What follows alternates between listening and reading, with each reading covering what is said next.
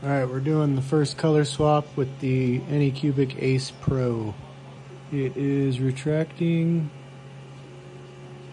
Okay, it's pushing the white in.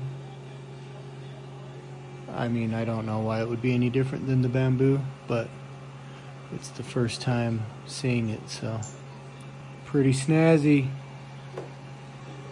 Pooping, pooping, pooping. Alright, so yeah, it's, I mean, it's basically the same as the Bambu printers. You see the white? Mm-hmm. Yep, there it is. Is it about to fling it? Not yet. Okay, here Oh, we go with the white.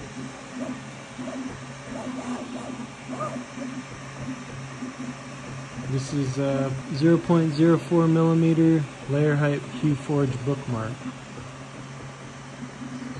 So far it's working out fairly well. Let's see what happens with the light. 52% finished. Layer 22 out of 36. We've got about an hour left. Here's the finished bookmark. As you can see, it turned out okay. Looks pretty good. I did have to slow the print down after the first layer to quiet mode, which I'm assuming is about half the speed as standard mode. I would say not quite as good as a Bambu, but not too shabby either. So we'll try with the big test next. This is a 12 by 16 inch squared test print, which will take a couple days.